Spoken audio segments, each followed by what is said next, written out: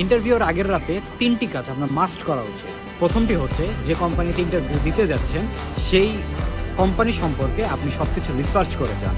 আর সাথে আপনি যে পজিশনের জন্য অ্যাপ্লাই করেছেন, সেটার কাজের সম্পর্কেও কিছুটা স্টাডি করে যান।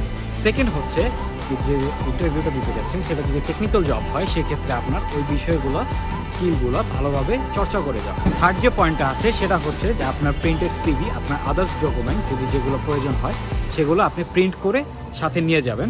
এগুলো সব আগের রাতেই গুছিয়ে রাখবেন। প্লাস আপনি টেনশন ফ্রিভাবে একটা ঘুম দিবেন।